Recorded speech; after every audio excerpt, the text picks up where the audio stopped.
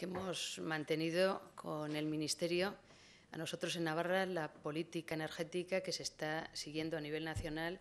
pues nos resulta lógicamente de máximo interés y más a una comunidad que ha hecho una gran apuesta por la energía renovable en los últimos años y que para nosotros el sector de las energías renovables representa casi un 6% de nuestro PIB y tenemos muchas personas trabajando pues, en esta fuente de energía tan importante a nivel nacional como a nivel europeo. Hemos intercambiado opiniones con el Ministerio porque consideramos que la política energética que se marque para los próximos años en España debe tener el máximo consenso con las comunidades autónomas.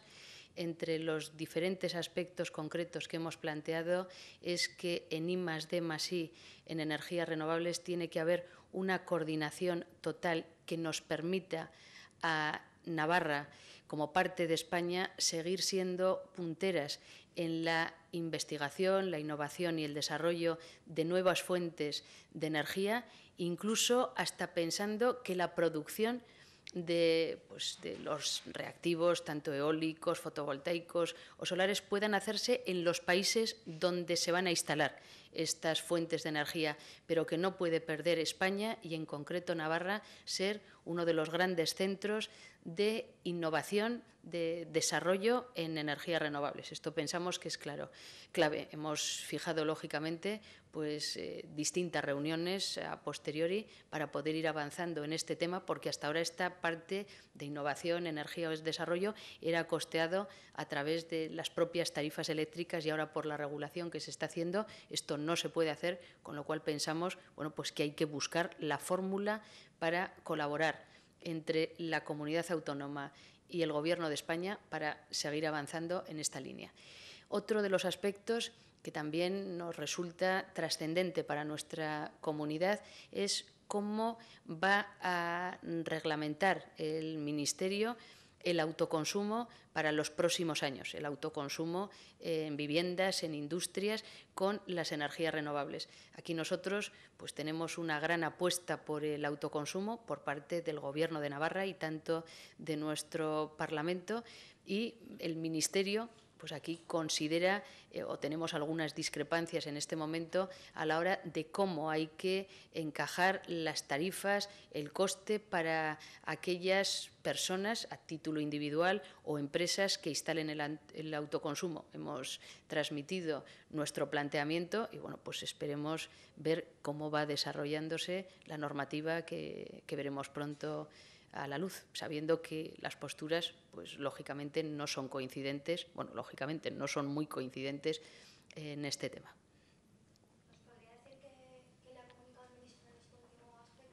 Pues en el autoconsumo, que ellos lo que están buscando es que la tarifa eléctrica no tenga perjuicio con la nueva regulación que se haga del autoconsumo. Para ellos eso es lo más importante y que los costes de utilización de la red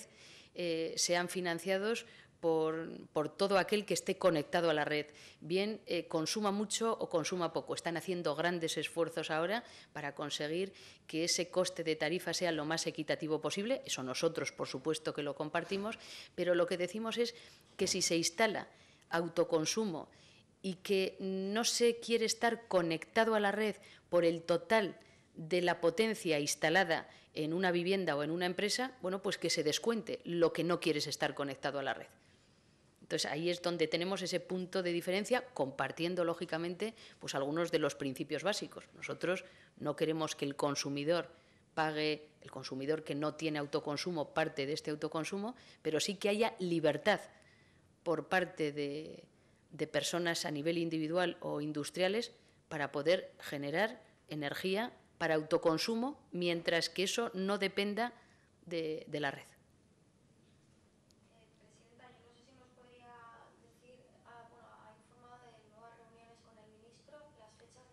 No, a hemos hablado ahora ya a nivel técnico, porque como ven, estamos hablando de cuestiones que hay que ajustar, de costes, de cambio, cómo afectan unas normativas, otras. Se va mm, a hacer una nueva regulación, como bien saben, por parte del Ministerio, y lo que a nosotros nos gustaría es participar antes de reuniones técnicas con el Ministerio